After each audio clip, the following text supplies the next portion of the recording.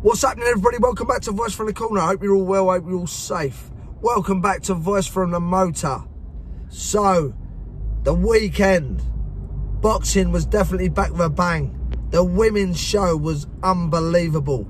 You know, an absolute unbelievable card right the way down. Uh, Savannah Marshall, Claressa Shields, what can I say? Firstly, I'd like to say my ignorance on not looking at Claressa Shields. I took someone's opinion instead of watching her before I put my prediction out there. Um, you know, but sometimes we get things wrong. But I'll be honest, I never even watched Claressa Shields. So again, that's ignorance. Um, so sorry if anyone's lost any dough. Uh, but again, bet responsibly. Paddy power. That's the top and bottom of it. So, um, how did I score the fight? How did I see the fight? Um, Savannah Marshall, for me, was falling over her front foot. From the first round, she threw a jab. She never got a distance, and she struggled from then on. And every time she was going forward, she was leaning over her front foot instead of leaning over her back foot. When she was getting close, the shots were still long instead of shortening the shots up.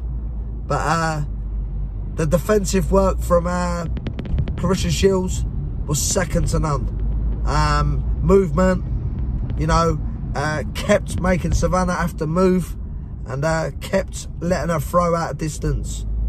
She had a couple of spells, Savannah, where she done all right, but the control of the fight was all in Claressa Shields' favour. Again, um, I would like to say, I'll give Savannah maybe the fifth and the seventh round, and that's being generous.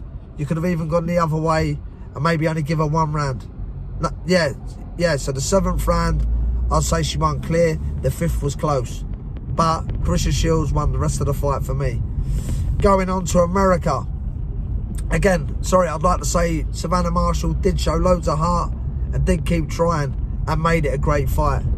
But Claressa Shields was always one step ahead. A bit like uh, Alexander Usyk against Anthony Joshua. And then we go on to America. Deontay Wilder.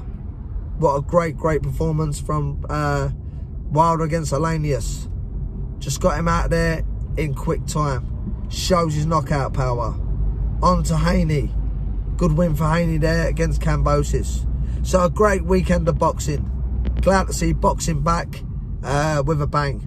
That's the top and bottom of it. Nice one, everyone. Hope you all have a great, great day. Tuesday. Nice one.